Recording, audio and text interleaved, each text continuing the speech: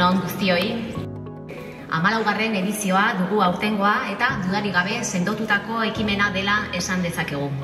Enpleogune ikasleen lan bila dabiltzan pertsonen, enpresen eta erakunde publikoen arteko topaketa eta komunikaziorako gunea da. Bertaratuko diren pertsonen laneratzea errazten eta enplegagarritasuna sustatzen laguntzeko sortutako foroa.